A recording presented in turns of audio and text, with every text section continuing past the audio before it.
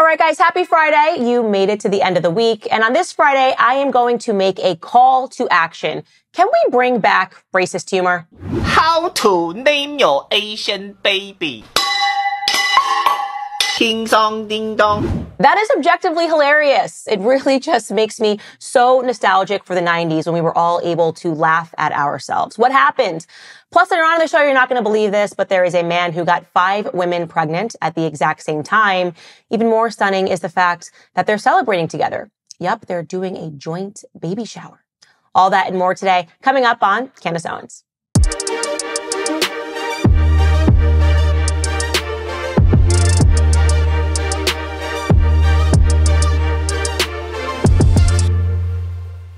Say that I'm a racist, no, but I definitely do prefer Asians. I've made that clear across this show. They seem to be the only ones that are not taking themselves too seriously. And I got to thinking after I saw that TikTok clip and I laughed way too hard at it and I just kept laughing at it, how much I actually miss the world. I miss the America that used to be able to laugh at all of our differences. When you could see a comedian and they would be making fun of black people, white people, Asians, Jewish people, and we were all better for it in the end something changed. And I wondered to myself, when did it significantly change? Because like many other things in our society, it seemed to happen slowly and then very quickly. And now everybody is just, oh, you can't say that. It's so offensive. Oh, it's a trope. You can't say that about this group. You can't say that about that group. And I'm still wondering why not? Because it's obviously that it's pretty obvious that we all have differences and it makes it better when we can point them out. And I think actually it makes us closer.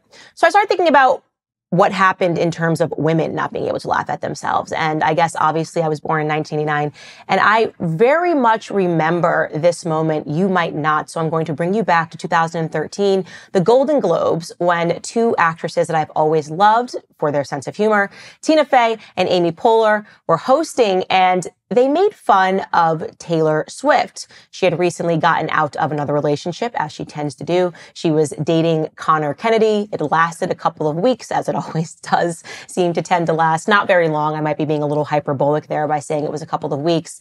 And they just took a little friendly jab at her. Take a listen. You know what, Taylor Swift? You stay away from Michael J. Fox's son.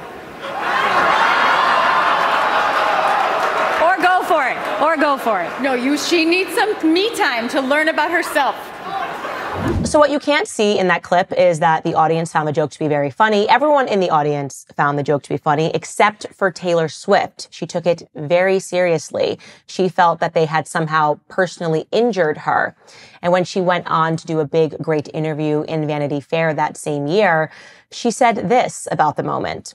She said, for a female to write about her feelings and then be portrayed as some clingy, insane, desperate girlfriend in need of making you marry her and have kids with her, I think that's taking something that potentially should be celebrated, a woman writing about her feelings in a confessional way. That's taking it and turning it and twisting it into something that is frankly a little sexist frankly a little sexist. The rise of the ism culture. How can I be offended as a woman? How can I be offended as a person of color? How can I be offended as a Jewish individual, a Jewish individual? Like a, a thousand times we're seeing this all across the board. And I think this was largely due, particularly as it pertains to women, to the rise of modern feminism. Taylor Swift notoriously said that Lena Dunham, that young woman who's always naked on Instagram taught her how to be a feminist and made her understand, I guess, that she should be taking herself very seriously. And she's really kept up that can't laugh at myself thing for a very long time. Recently, you guys may have caught this. It was circulating. Taylor Swift was very upset again at the 2024 Golden Globes this time when Jo Koy, who was the comedian that was hosting, made another like I said, light joke her way. He tossed it her way. Really, the joke was at the expense of the NFL constantly focusing on her newest relationship with Travis Kelce. But let's hear what Jo Koy said that got her so upset. As you know, we came on after a football doubleheader. Uh, the big difference between the Golden Globes and the NFL on the Golden Globes, we have fewer camera shots of Taylor Swift. I swear. There's just more to go to here. I mean, I'm asking you seriously. I know that so many people that follow me, you guys are Taylor Swift stands. I get it. People love her all across the world. But was it that serious? Eh, couldn't you just muster a giggle, a smile? Is it really necessary to do just this very serious face to let him know that it's not funny and that you are a feminist and it's not funny to talk about somebody's relationship. And again, I'd like to point out that he's making a joke at the expense of the NFL, not really at Taylor Swift. They are the ones that are obsessed with her relationship and constantly panning shots to her every reaction.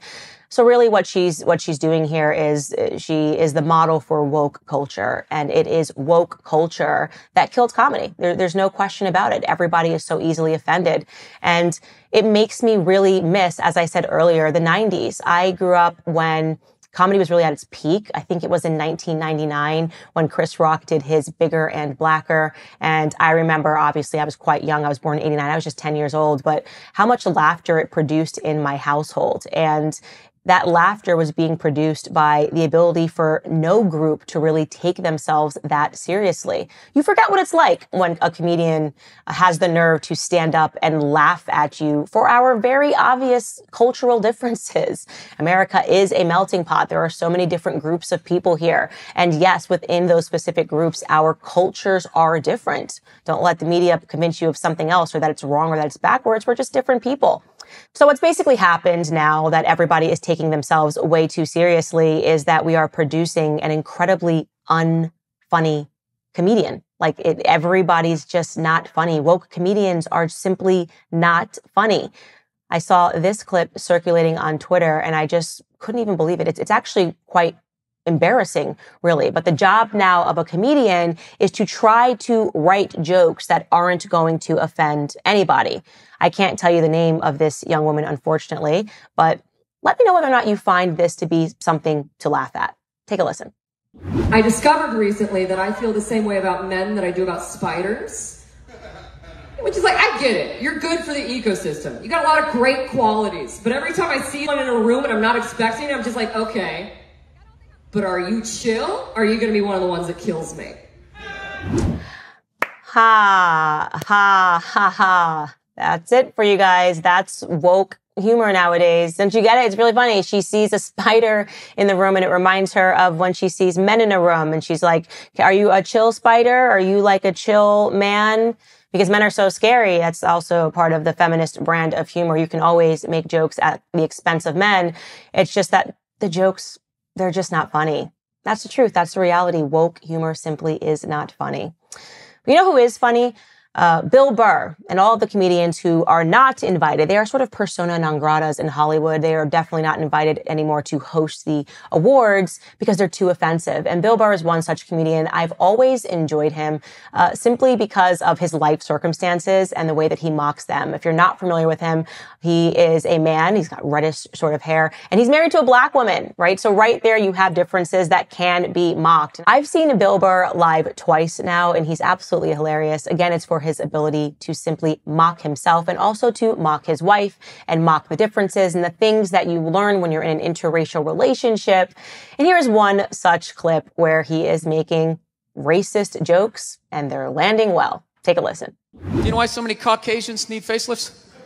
Because we don't know about lotion. I didn't know anything about lotion. Never used it the first 33 years of my life. Never used it. Till one night I was going out with this black girl, right? She was getting ready and she was just putting that on everywhere, just slathering it on. I thought she had like a rash or something. White people totally missed the lotion seminar at some point in history. We missed that the way black people missed the whole register your weapons summit. Right? The amount of rappers who've been busted for the unregistered Glock in the car just blows my mind.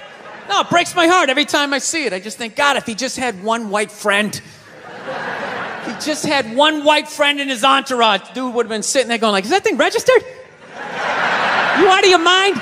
Get it out of there. Get it out of there. Yeah, it's illegal. That's like three to five mandatory. I know you're laughing. I know you're laughing because that's objectively funny and it's objectively true. It actually happens in my marriage. Me and my husband constantly make jokes at each other. That's why I say, I'm definitely racist. I'm constantly saying oh, that's because you're white. He wants me to try to do the cold dip in the morning. My husband likes to get in freezing cold water in the morning. And I explained to him I simply will not be participating in that because I'm not white. Obviously, I'm black and I am under no circumstances going to submerge myself into ice, even though he says it makes the senses come alive and he makes fun of me for things that he says are ridiculously black. We laugh at each other. Uh, that is what is missing in this society. That is why people are fundamentally not happy because we are taking ourselves way too seriously. So again, my call to action, please, America, everywhere, everywhere in the world, not just America, can we please bring back racist humor? That's all I'm going to ask for today. Balance of Nature fruits and veggies are a great way to make sure that you're getting essential nutritional ingredients every single day. Balance of Nature uses an advanced cold vacuum process that encapsulates fruits and vegetables into whole food supplements without sacrificing their natural antioxidants. The capsules are completely void of additives, fillers, extracts, synthetics, pesticides, or added sugar. The only thing that's in Balance of Nature's fruit and veggie capsules are, well, fruits and vegetables. Right now, not only will my listeners get 35% off your first order, you'll now get a free fiber and spice supplement as well. Balance of Nature's Fiber and Spice Supplement is a revolutionary fiber drink with a unique blend of 12 spices and whole foods. There has never been an easier way to make sure that you're getting your daily dose of fruits and vegetables. Experience Balance of Nature for yourself today. Go to balanceofnature.com and use promo code Candace for 35% off your first order as preferred customer, plus get a free bottle of fiber and spice. That's balanceofnature.com, promo code Candace for 35% off your first preferred order, plus a free bottle of fiber and spice. All right, guys, now it's time for some topics du jour.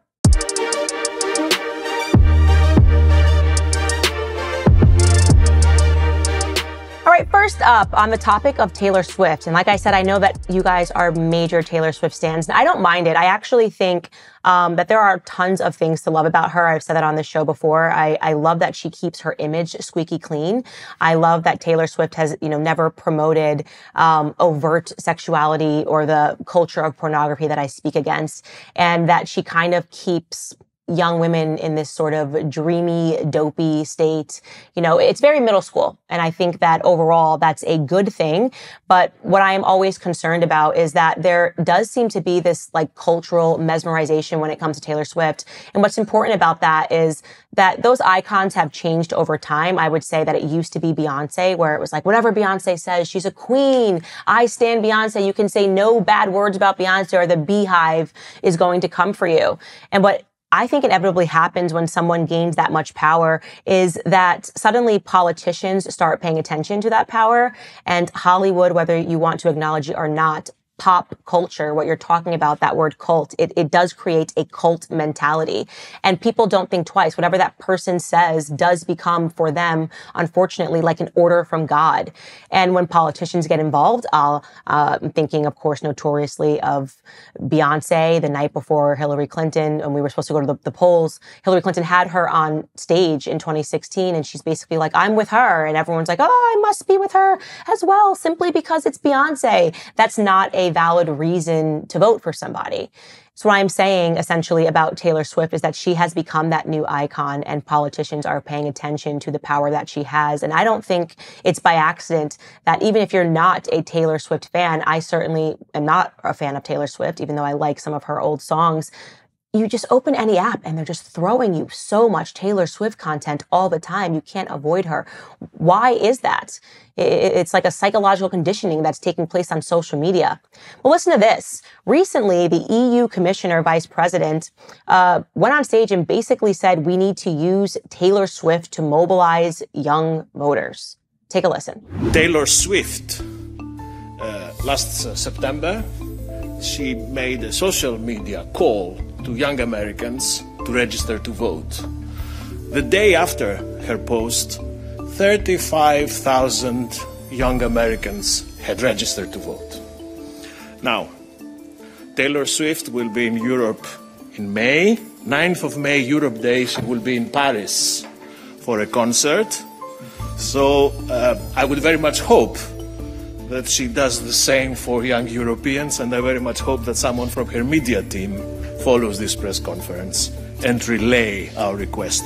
To give you some context, that is the vice president of the European Commission. His name is Margaritis Schinas, and basically the reason why they're looking at Taylor Swift is that if you're not paying attention to global politics, the EU is losing a lot of power. Um, people are starting to say, wait, why do we have this government within a government? Why do we have to listen to a bunch of unelected bureaucrats? This is really what happened with Brexit. This is the reason that the UK left the European Union. You might remember that taking place in 2016.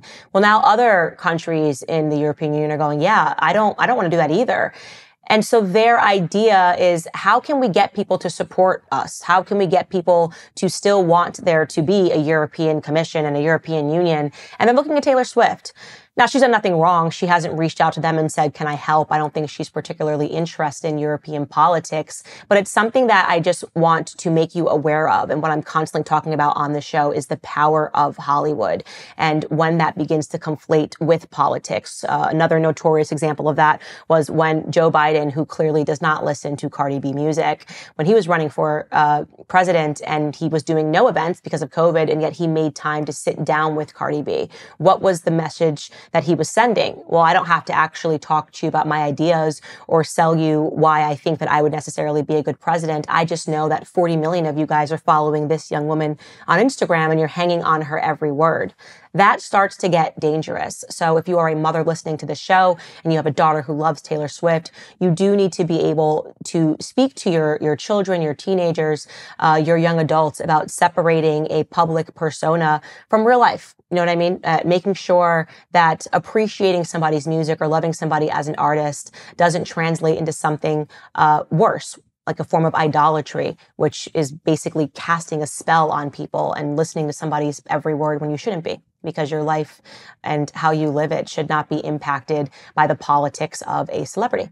All right, guys, moving on, already having an update on a story that I didn't expect. So early on this week, we covered DEI initiatives and how dangerous they were getting, especially when it comes to the airlines and what happened last week when a door just flew off its hinges midair during United flight.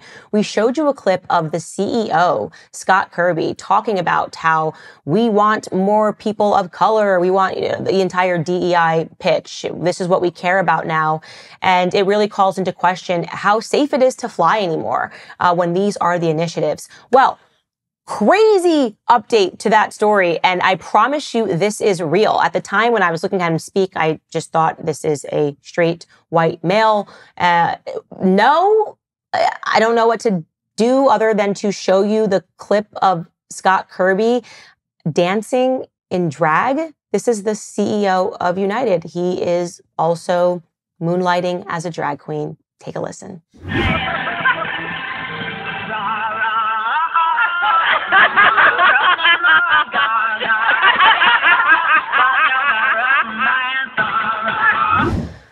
Yeah. So I got to be very careful in what I say here, obviously, because of YouTube policies and not being allowed to say the truth so much anymore. Um, here's what I will will say. Times are different, man. This sort of content, if some your boss googled you and saw that you were moonlighting as a drag queen dressing up like that that would be something that would probably disqualify you for the position of ceo ceo anywhere in the world.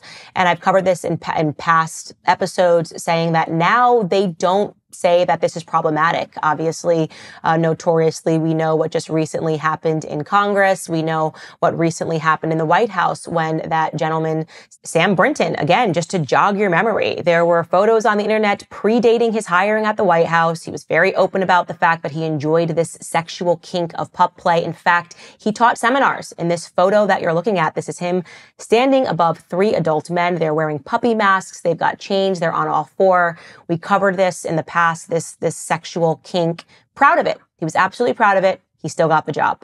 And I just want you to think about that. Uh, when people that moonlight as dogs, as drag queens, uh, are open about their sexual fetishes, are now being put into positions of power. Whether that is, again, like Scott Kirby as the CEO of United, or if it's like Sam Brinton and he is in charge of nuclear energy at the White House. What does that spell for our society? Is, do you really believe that you can just completely separate your persona, your whatever you're moonlighting as from your job? Well, I can say for a fact that the answer when it came to Sam Brinton was no. Obviously, the reason that he got let go from his position was because he was stealing um, women's suitcases, several women's suitcases from the airport, and he got caught and he got arrested multiple times for this. So no, he was not able to separate um, his real life from his moonlighting persona. It remains to be seen whether or not Scott Kirby can. This to me is incredibly disturbing. It's disturbing to me that we keep reporting on this, the incidents of people that are working as kindergarten teachers, that are working within the school system, that are also moonlighting uh, uh, as drag queens. I, I find it to be extremely problematic. And I think that is the strongest possible terms that I can say, again, due to new YouTube policies and new social media policies where you can't talk about these issues in a practical way. All right, guys, moving on. So I kind of rang the alarm last year on what I guess you can only say is the explosion of polyamory. It was a particular case that I found to be very interesting out of New York City, where essentially they were asking the judge to recognize polyamorous unions. It was a thruple, three men, and they wanted that forget gay marriage. Now we want to say that we want to be a thruple, which calls into question whether or not the decision to acknowledge gay marriage was in fact a slippery slope for society. I would make the argument that yes, it has represented a slippery slope, that things have very quickly gotten, taken a dark turn in American society. Well, here now seems to be the media trying to promote polyamory across the board. Uh, first and foremost, this is a headline, uh, New York Magazine. You can see it features four kittens snugly, and it says Polyamory, a practical guide for the curious couple. This is another headline coming from USA Today. It says, Swingers want you to know a secret. Swinging is not just about sex. Here is another headline from the New York Times. How a polyamorous mom had a big sexual adventure and found herself. Now, again, I was seeing this happen last year, and it's very, I think, telling when it is starting to move across the court system because uh, New York City did side in favor in that particular case that I was just alleging to, uh, alluding to, pardon, they did side in favor of the polyamorous union. They, they recognized this thruple. But if you need even more proof that getting rid of a normal relationship, right? Forget marriage being between a man and woman, a relationship being between a man and a woman, and now invite everybody into your relationship. This is a real story coming out of New York, uh, a New York City musician. His name is Zeddy Will. He is 22 years old. He recently hosted a joint baby shower for his five pregnant baby mamas. Just take a look at these pictures. These baby mamas, five of them all embracing each other. One of them, Ashley, 29, revealed the startling achievement by showing off the party invitations. She was so proud of this. She's like, yes, this is okay. I am very excited about this. This is Nick Cannon culture. Um, I, I'm excited to be sister wives. Actually, these aren't even sister wives. I think we could call this sister baby mamas because he's not married to any of them. And yeah, she, she revealed the joint invitation. It says, welcome little Zeddy Wills one through five. Yeah, because there's five little Zeddy Wills. They're all pregnant at the exact same time. They look remarkably happy in these untraditional family photos, posing outside of their, uh, posing at their party, holding their bellies, something that should be so sacred, the beginning of a family. And they are celebrating this in just a really crass way. Ashley revealed that they've all learned to just accept one another, all the baby mamas, because they believe that it's going to be better for the children. It's going to be better for the children. I, you know, I call me crazy, call me old fashioned, call me traditional. I know, Candace, you're, you're a Puritan. I get that sometimes. You are just becoming puritanical. Yeah, I, I like being a Puritan. I do not take that as an insult, but call me crazy. I personally think the best circumstance for those children would have been to have one father and one mother and to grow up in a stable household, not in a household where the father has to divide his time across five different households, um, where he has to divide his time during the holidays, when he has to divide his time, uh, on their birthdays, whatever it is. I, I think that that would be, that would represent a more stable household. But again, like I said, in my personal opinion, we have seen a radical shift in the idea of what is a stable household. We have seen this push to almost make the traditional family dirty right? Like the nuclear family unit, we've seen this not just in the school system, but culturally, a shifting away from that. This uh, feminist manifesto of I can do bad all by myself. I don't need a man. And now we have this new dawn that is upon us where we're saying, okay, I do maybe need a man just to have a child, but I'm happy to share him with five other women. Now I'm going to guess that this, as happy as they all look in these photos, is not going to be as glamorous as they're trying to sell it. I am going to make a wild guess that these women are not going to be happy when they realize what it actually takes to raise a child, that it does take two stable adults and the commitment that you want from your husband, or I guess in this circumstance, your, your baby daddy. But again, what do I know? I'm old fashioned. Now let's jump into some politics, a moment that I think should not have happened. Here's the thing. I've been very open with the fact that I will be supporting Trump in this election cycle now that he is the Republican nominee. I've been very open about the fact that I like Vivek Ramaswamy. I hope he picks him for his VP because I think Vivek has a very deep understanding of the ideas. But there is something that is making me nervous about what I am seeing happening in Trump camp right now. So obviously, Trump did lose some support since the 2020 election cycle. Despite the fact that he is blowing the other candidates out of the water, I would say that some of his supporters drifted into the DeSantis camp.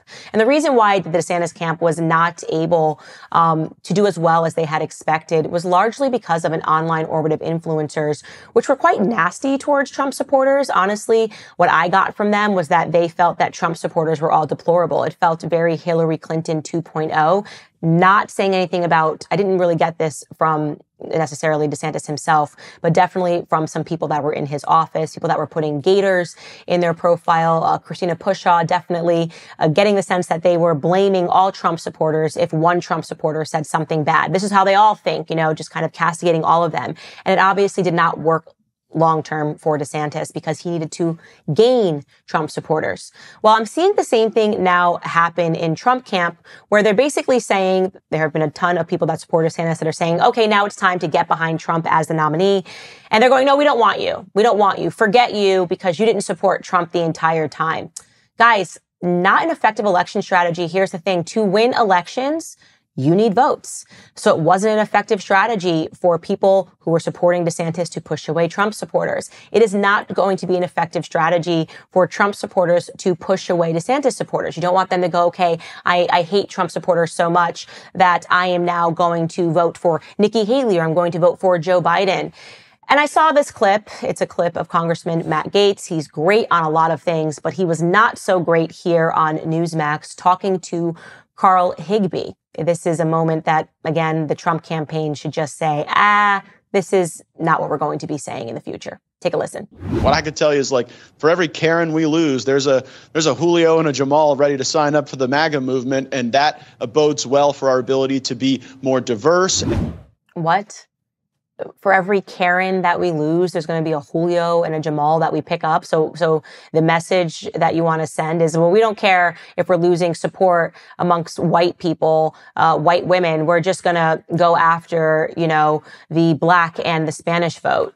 Not good, especially because Karen is in, without question, a racial pejorative that is being used against white women. What do you, you don't want to reject people at all. You don't want to use these sort of racial pejoratives against white people, black people, or Hispanic people. And to just simply say, we don't care about that vote anymore. Well, you're starting to sound like leftists. You're starting to sound again like the kind of things that we would hear out of Hillary Clinton's camp, where you're starting to castigate an entire group of people. It's just not going to work long term. And I think if you asked me whether or not I felt in this moment that Trump was gaining voters, now despite the fact, like I said, he's he in terms of being a Republican nominee, he's got tons of votes, he's blowing the other candidates in the water. But the question about whether or not he's gain gaining support since 2020, I'm not so sure. And I think they need to stop in the same way that I said, if DeSantis camp wanted to win votes, they needed to stop and they needed to assess themselves. And they didn't do that. I think the Trump campaign is going to need to stop and to assess and to say, how do we earn votes? This is not the way. Now, to be clear, Matt Gaetz is not a member of the Trump campaign, but I'm, I'm calling this out because this is not going to be the way right? You're only going to win votes with a vision for the future that makes people feel like they can trust and like they can respect you. You're also only going to gain votes through hard work ethic.